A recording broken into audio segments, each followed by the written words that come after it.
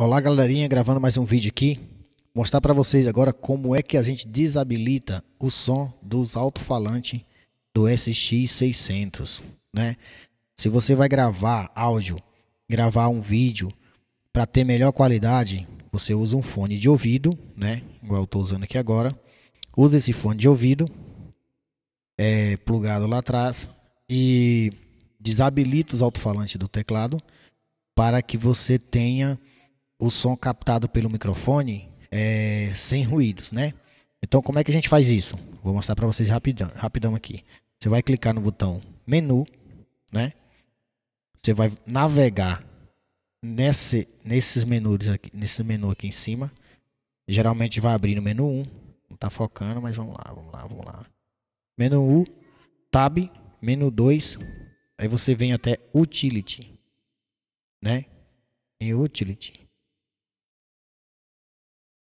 você vai clicar Enter nesse botãozinho aqui do lado, né?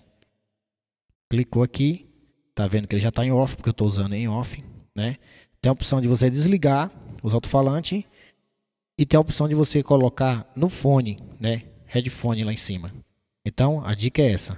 Use o fone de ouvido para fazer gravação, desabilitando os alto-falantes do SX 600.